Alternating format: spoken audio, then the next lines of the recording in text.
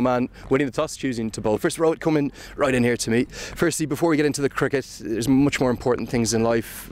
Um, a horrific tragedy right the way across Nepal. I want to ask you about that. How are you? How are the boys? And maybe do you have a message for everyone back home in Nepal? Yeah, I think uh, it's uh, it's more important than cricket, uh, especially the lives of of our people, uh, especially uh, due to heavy rainfall. Uh, a lot of people have lost their lives, few are missing, and yeah, a lot of people have lost their shelter also. So yeah, it's it's very hard time. Uh, but uh, what I can say is that um, the strength, uh, keep all the strength. That this is the hard time. It will come come over, and good time is all, good times will also come.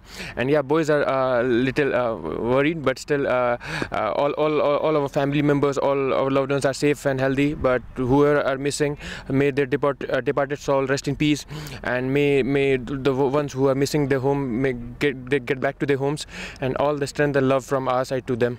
Yeah, and all of all of my thoughts with everyone back home in Nepal and, and our thoughts and prayers with everyone. Thank you for that.